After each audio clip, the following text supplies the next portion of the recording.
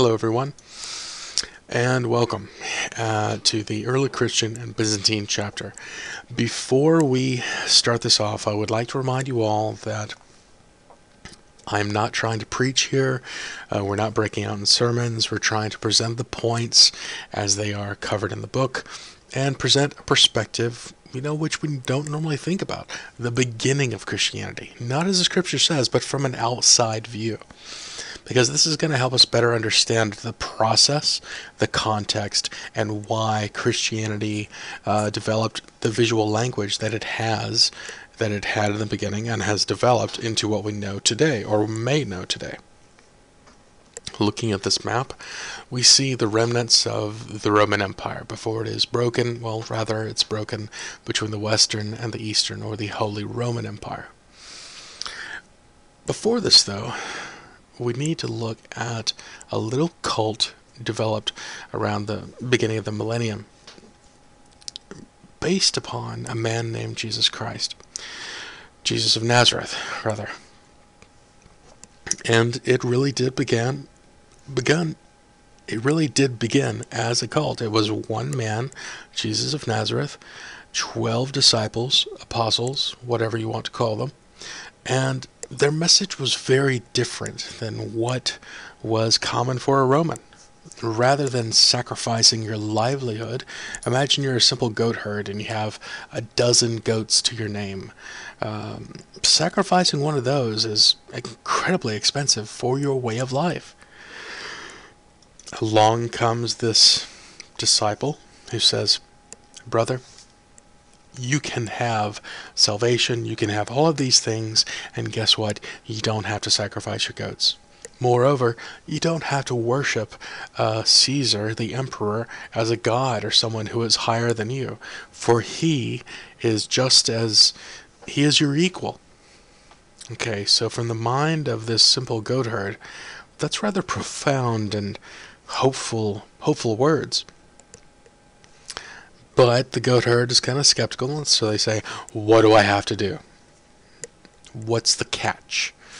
And this holy person says, There is no catch except for you give your your heart over to Christ and this and that, and you can have eternal life. When you die, you can go to the realm of heaven, not just reserved for Caesar or for the rich, but for pauper and prince alike. Well, sign me up what you need to understand is that Christianity was originally worshipped as a cult. You know, while it was growing as a cult, it was worshipped in secret.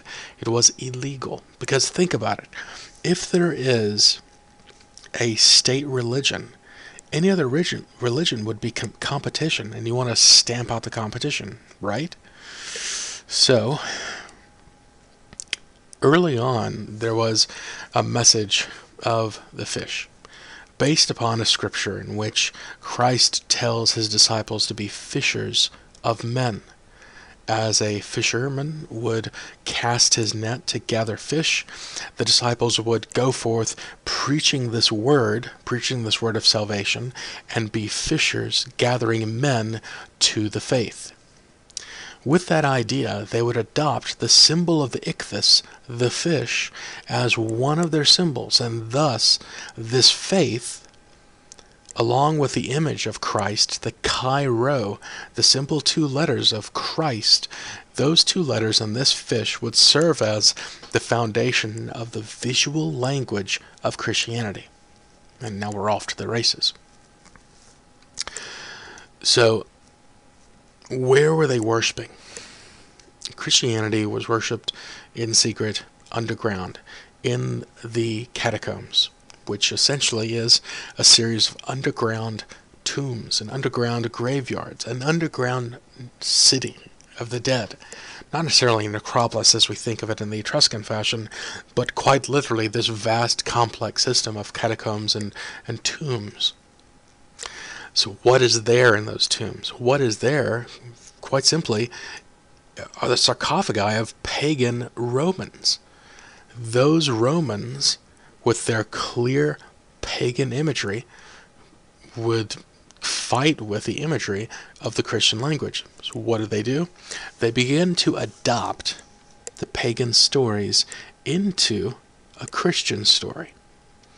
The image of the Good Shepherd who carries his sheep. This, of course, is based upon Mercury, the messenger of the gods, or in another case, Hermes, the messenger of the gods. Jonah and the whale, various other messages from the Bible, stories from the Bible, were in fact adaptations of pagan stories. Christmas, uh, you know, you could look up all the ties of Christmas and Easter, and you know why we have bunnies at Easter and why we have Christmas trees on East Christmas rather than, you know, celebrating a manger. Um, there are roots and connections there. Christ Himself his image is based upon images of Zeus.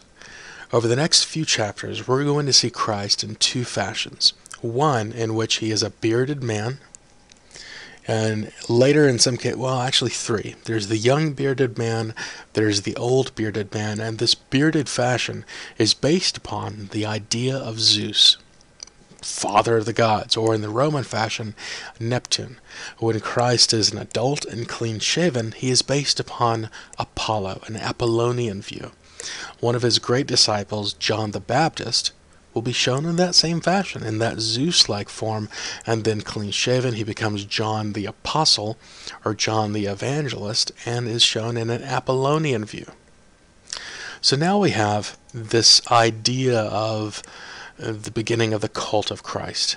Well, later on, one great ruler named Constantine, one, one of the greatest rulers, would have a vision in which God Almighty comes to him in his dreams and says, In this sign you will conquer, if if you put the Chi-Rho upon your shields.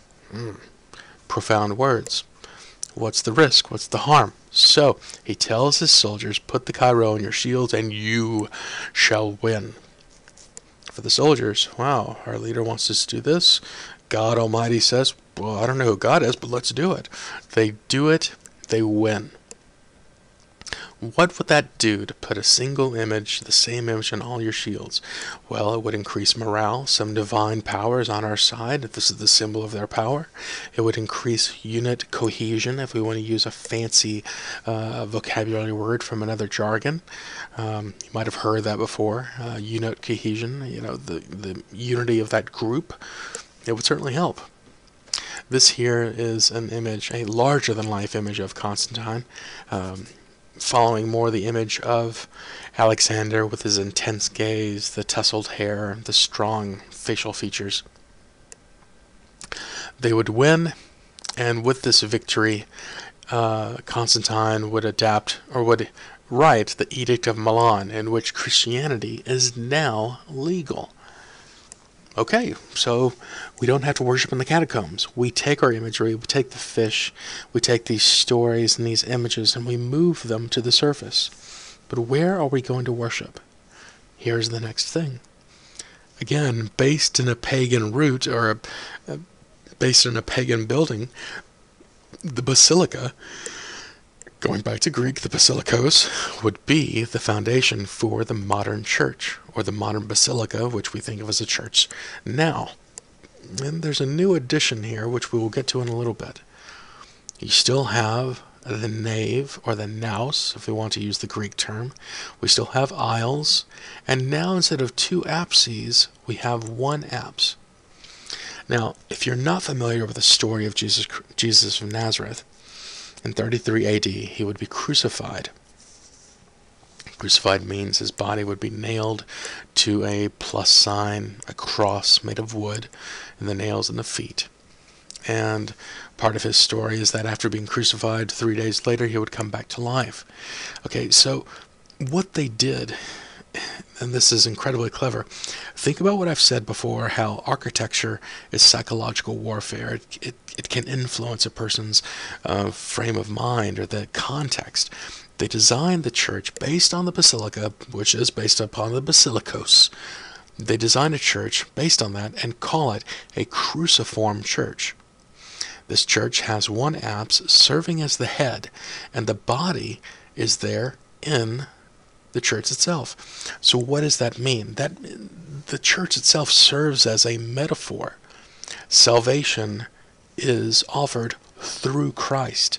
There is no way but through Christ. Christ is the way into heaven, into eternal salvation.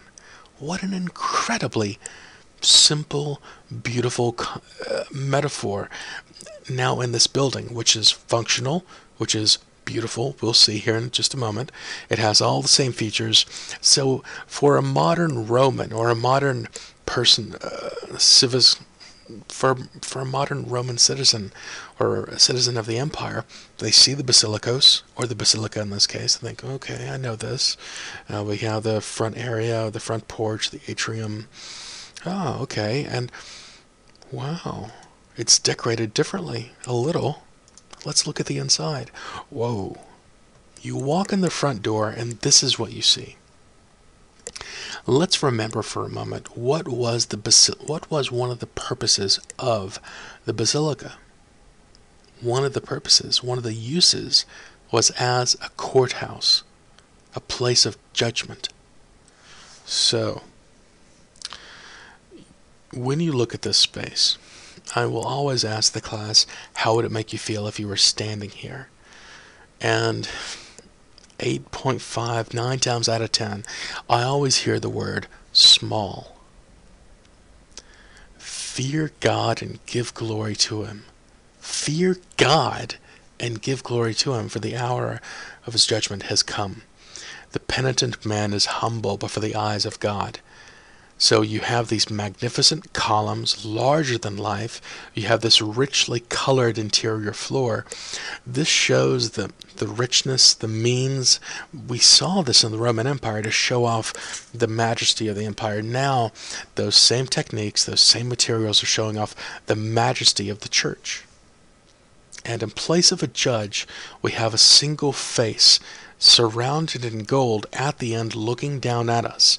And below, is the judgment of Christ, who sits upon his pedestal, his throne, looking down, the throne of heaven, as it were. On the side, we have those clerestory windows. Uh, if you, you might remember clerestory from test 2, uh, or actually, yeah, from the Egyptian chapter. That always seemed to trip people up. We have the columns. We have Corinthian columns, by the way. And up here we have something I forgot to talk about in the Roman lecture, and that is the coffered ceiling. The coffered ceiling means bits of it have been carved out to make it lighter. Since this is a flat roof, there is a lot, I mean, a great amount of weight being exerted on this center mass. If it was an arch, it wouldn't be such a big deal but to ease on the weight of the structure itself, they carve out or they construct it to where these large sections are missing, thus lightening the load of the roof. Now, this is St. Paul's. The original, the first basilica, the first church, the first Christian church was St. Peter's, and thus St. Peter, our first pope. So you enter this, you're made to feel small before the almighty power, majesty, and beauty of the church that is God. You're reminded of the salvation of God through this. And this next part, this circular part with eight sides, is what we're going to get to next because there are, in fact, two types of churches. There is the cruciform church, and then the next type of church is the round church, known as the centrally planned church. Now, the centrally planned church can be used for churches, for mausolea, or for baptistries. And where we normally have an aisle, we have an open space around the nave. The nave is still the main center area, and the aisle is around. But in the case of the centrally planned church, it's called an ambulatory. To ambulate means to walk. Now, in the case of baptistries, we have those same features baptism, in which a person is immersed in water, is a public acknowledgement of their faith and their conversion to the Christian faith. Um, there are other uses and contexts, but for now, that's that's really all you need to know. Uh, what I want to get to next is really interesting. The number eight. What does the number eight have to do with the church? Typically, if you ask someone uh, that is even semi religious, you might think of the numbers five for man, six for the devil, and seven for Christ. Or, well, for God. Um, but the number eight doesn't pop up that often, except for a couple of places. Once in the Old Testament and once in the New Testament. And dozens upon dozens of uh, dead and living scholars have looked through this, and I'm not pulling this out of my rear end. This is the idea as to why the number eight is important to the faith of Christianity. Idea one. If in the story of the Old Testament, after God created the world, he, uh, a man has original sin and thus is damned, and God looks on his creations and he's disappointed, so he decides to start over, man 2.0. To do this, though, he needs to save some people, so he calls upon a man named Noah. Some of you you've probably heard of Noah, uh, but it's not just him. But he Noah then goes asks goes to ask his sons Ham and Shem and Japheth, or I can't remember. I can never remember the, ne- the the last one's name. So you have these four men, and of course their wives.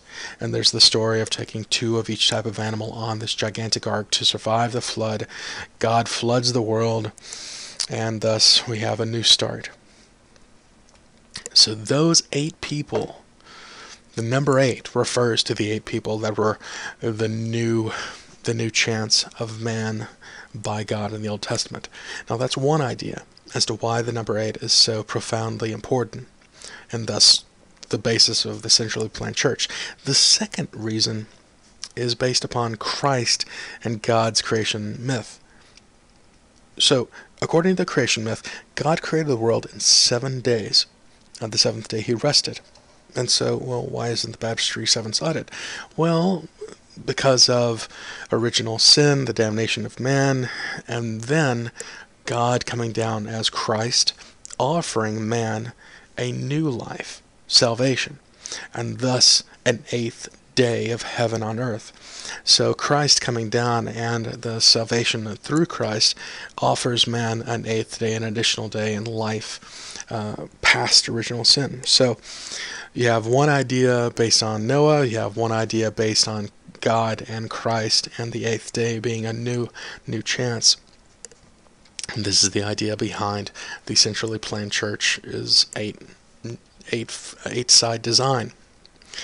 Now, one of the earliest beautiful examples of that in Europe is San Vitale. This is the personal church of Justinian, Justinian who came after Constantine. It is plain on the outside, but that's rather clever for the Christian faith, and we'll get to that in just a moment. On the inside, it's rather rich looking, and it has a new architectural feature we need to be aware of, and that is the buttress.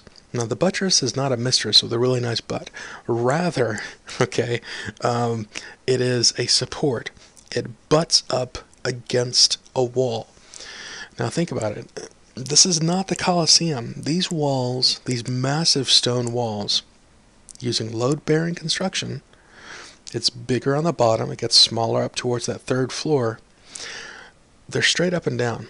And when you have that third floor and the wall that's kind of diagonal pushing down, it's pushing outward laterally.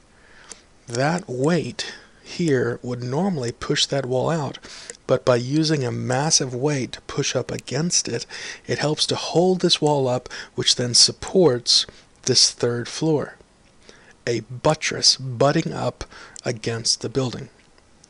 Later on in the Gothic chapter, in the Gothic period, we'll have the flying buttresses, the flyers, and so forth. But for now, we're simply looking at San Vitale with its plain, plain brick exterior. But that's a really clever metaphor for Christianity because it doesn't matter if you're rich, anyone can have salvation through Christ. So even the most poor, decrepit beggar can have a rich spiritual insight. And that, that alone is one of the most beautiful concepts which would lure or attract more to the faith. So on the outside, plain, but on the inside, rich, covered in gold. So I, I want you to put your imagination caps on really quick. Just imagine how this might look by firelight, by the hanging, swinging, gentle light of the of the candles, of the lamps. As the clouds move over the church in the sky, it would create a shimmering changing of the lights of those windows.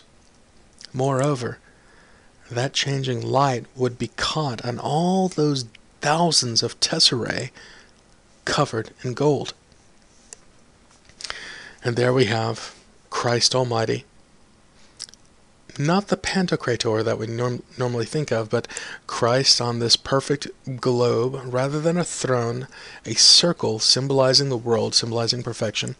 In the Christian visual language, the number one is important as well, for the one refers to a circle, a sun, uh, a perfect, never ending shape. Christ sits there and holds out his right hand. His right hand is offered in blessing and absolution. We sometimes might see him raising his hand with two fingers. I think if we go back to the beginning of the chapter, you'll see that.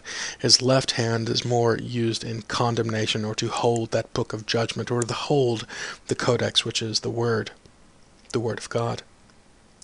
Now, to be a person's right hand man means you can depend upon them. They are your second. They're your the the, the executive officer, the Commander Riker to your Captain Picard. In this case, on the right hand of God is Justinian himself. There he is, the king. Now, why would the king who before tried to suppress religion, why would he be presenting himself now as faithful? Well, because Constantine did it? Perhaps. We need to think about why would a king want to adopt faith?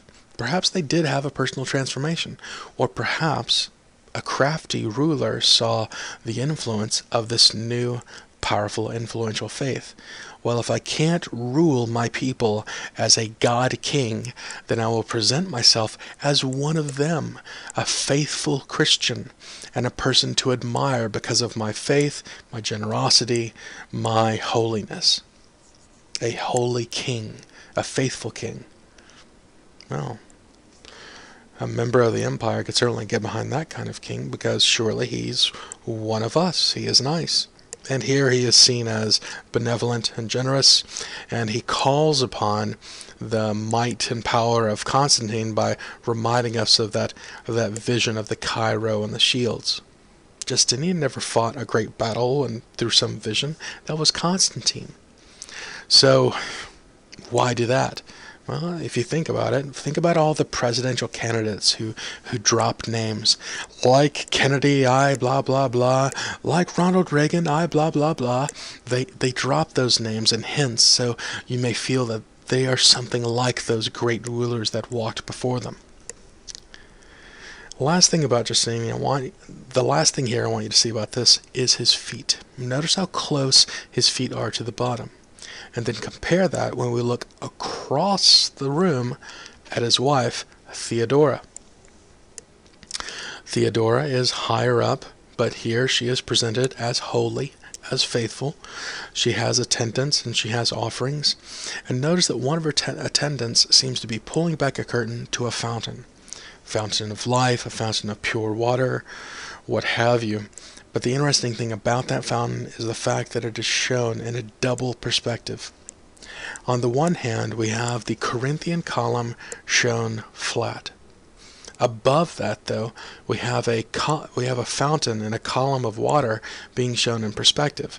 So we have to remember that we're not looking at this from eye level. We're looking up. So they're creating the illusion of understanding that we are looking at this holy water, this holy fountain of life, but there's also this beautiful little uh, Corinthian column. The features of San Vitale are very similar to any other centrally planned church.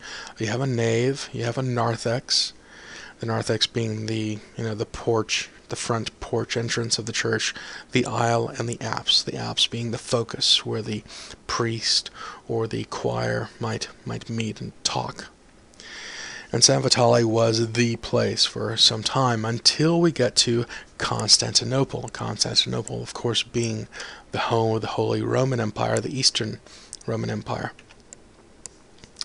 It is there that we find the greatest, perhaps the greatest of all of the centrally planned churches, Hagia Sophia.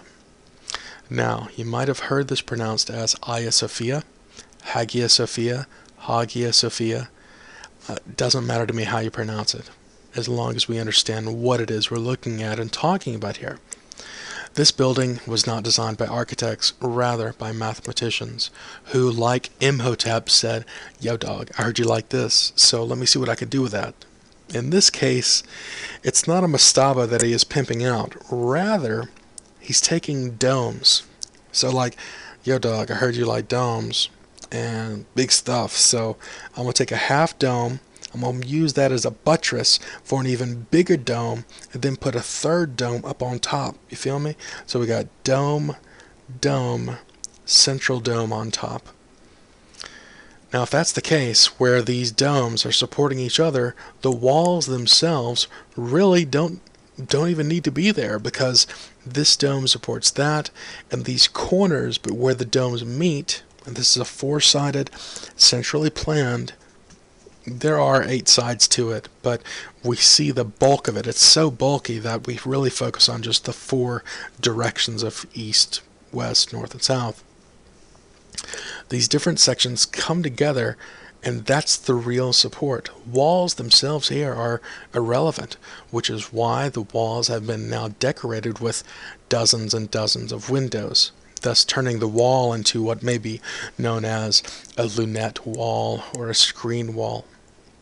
We can see that in more detail here. Uh, since the walls are not so important as load-bearing uh, walls, they are more decorative, and the domes become even more complex. For pendentives, the peripheral domes, and understanding how they work together is vital. But Mr. Fernandez, if this is a church, why is there Arabic on the wall? Well, there's a reason for that, general student. See, the church did not originally have those four towers. Originally, this was a Christian church. Uh, uh, as I make this video, I just lost it off, the tip of my tongue. I know at 3 o'clock in the morning tonight, I'll just figure it out. But uh, with the growth of one of the caliphates and the uh, Islamic one of the Islamic empires, this was converted from a church into a mosque. And one of the main features of a mosque are the four minarets. The minarets being towers in which the imam would call the faith, or the, the imam or the muezzin would call the faithful to prayer. So that is what these are. Hagia Sophia has gone through three transformations. First as a church, later as a mosque, and in its current state, it serves as a library slash museum. But with the rising influence and conflicts of ISIS, there is, and through some political parties, there is a, a desire to turn it back into a mosque. Uh, after it was first converted into a mosque, many of the images of Christ and many of the holy images that were first decorated there were destroyed because images of man is haram or forbidden in the Islamic faith.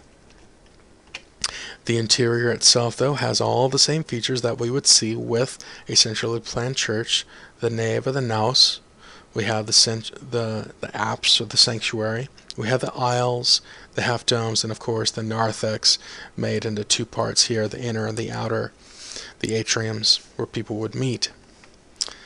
So I ask you again to use your imagination and imagine, with all those windows, as the clouds move across the sky, and massive, massive oil lamps hang and swing in the wind, how would all that gold glitter and look inside? If a person is to made f- to feel small but for the almighty glory and power of God, have they achieved their goal in designing it here? I'm inclined to say yeah. you can see the people and how small they are before this space, and all this openness that doesn't serve a function other than to impress and inspire. Inspire humility and inspire faith. So, what is the outer hallway called? It is not an aisle, it is called an ambulatory.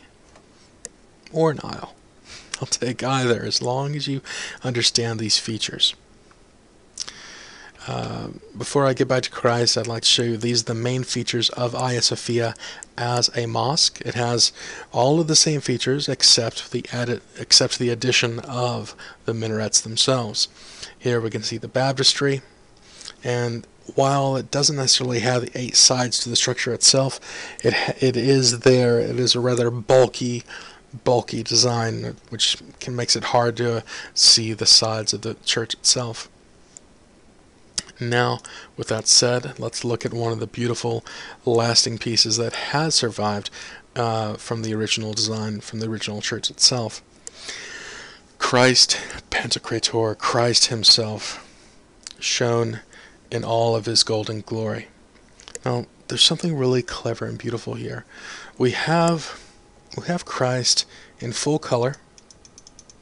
You can see the cheeks. You can see all those subtle subtleties to his face. But when we look here, we see rich, beautiful gold.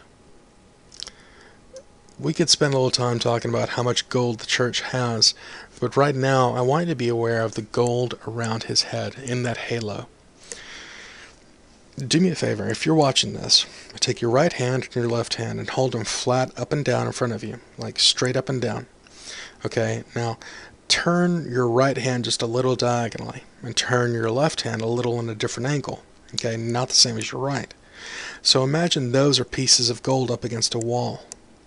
That's what they did with each of these little tesserae, specifically in his halo. Normally we think of those little tiles being flat on the wall, and for the most part, they are.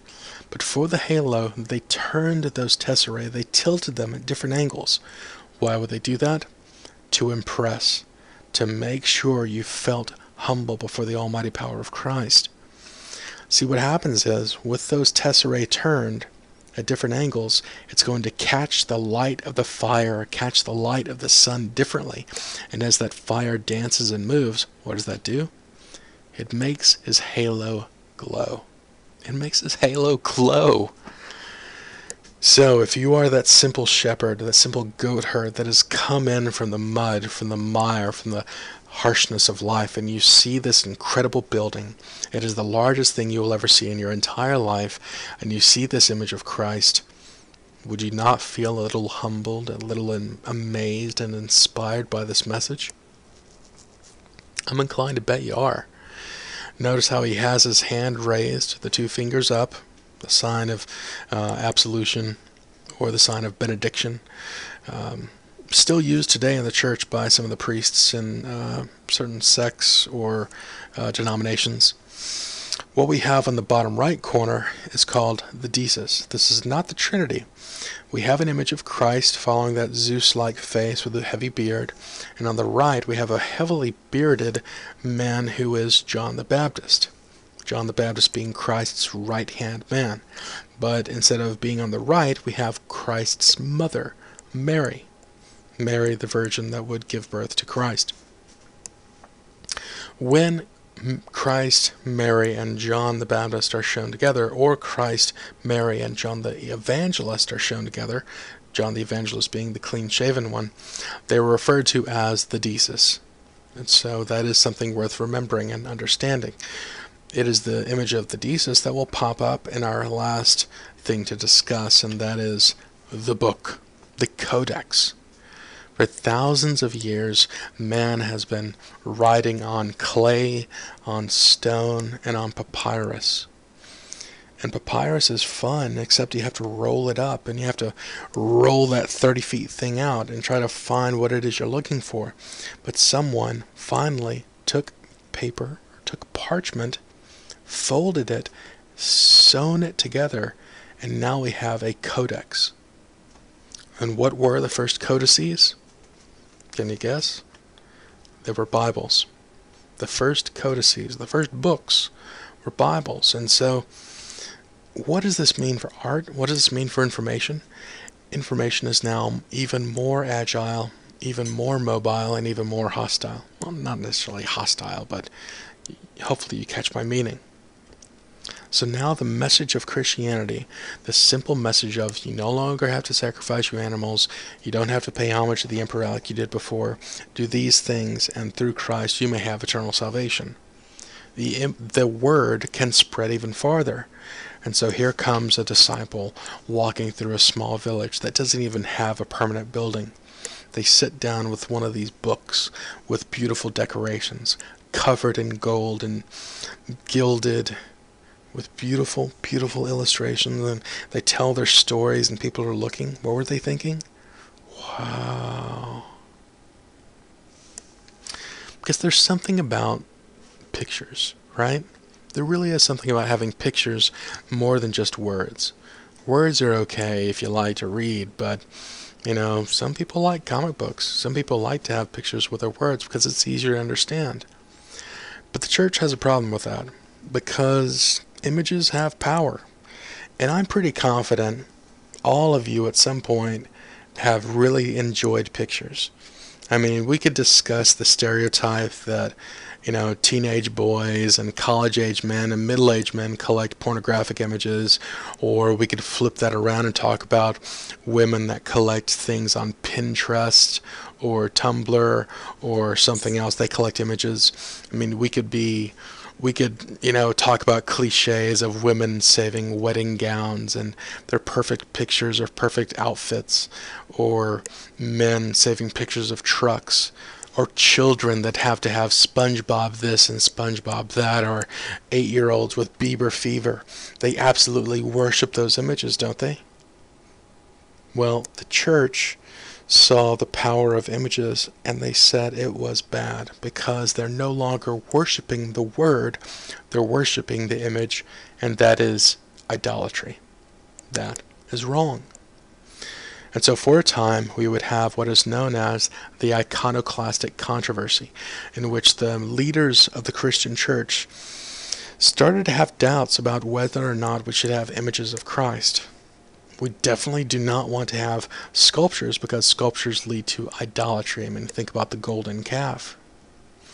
Well, the iconoclasts and the iconophiles, they talked, they conflicted, they argued, and eventually the iconophiles triumphed.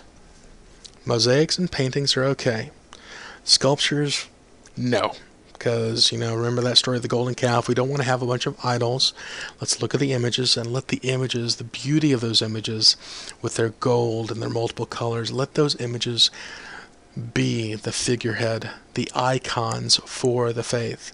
And that's what we're looking at here icons. A painting on a piece of wood, which is raised up or set on a table as a focus of faith as a priest gives his sermon or a choir sings a song. You focus on that image, and now we get iconography, and we can understand now a little more the power of images. We've gone very quickly through this chapter, and we've seen how Christianity started with two letters and a simple fish. But as the faith grew, they established more visual concepts, more words in their vocabulary from the cross, from the sign of absolution or benediction, to the deesis. In this case here, John the Baptist is shown as the boy, that is John the Evangelist, and Christ with his Zeus-like face is in the center with Mary now on the right. Now who is this guy? This old man holding some keys which look like coffin spikes or railroad spikes.